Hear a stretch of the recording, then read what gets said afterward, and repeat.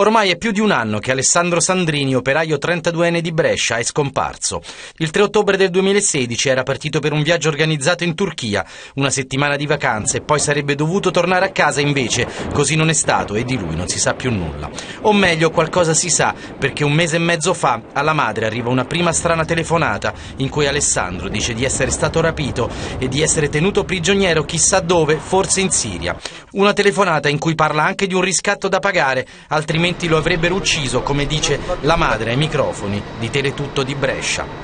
Una cosa improvvisa che non mi aspettavo, ho sentito la voce di Alessandro eh, molto debole, molto, molto abbattuto, che mi chiedeva aiuto che mi chiedeva aiuto, che era un anno che lontano da casa ed era trattenuto in Turchia e non sapevo nemmeno dove fosse trattenuto. Le sue tracce si perdono ad Adana, città turca non distante dal confine con la Siria, a 180 km da Aleppo, in cui, secondo i registri di un albergo, avrebbe soggiornato per diversi giorni, poi nessuno lo ha più visto.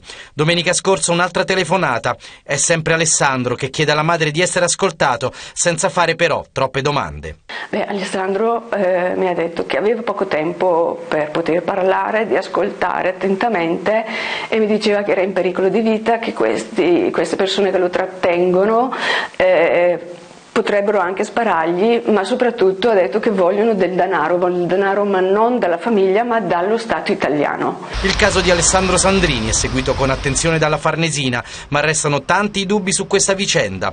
Chi lo ha rapito e perché? Nessuno per ora sa dare una risposta, né le autorità italiane né quelle turche che indagano.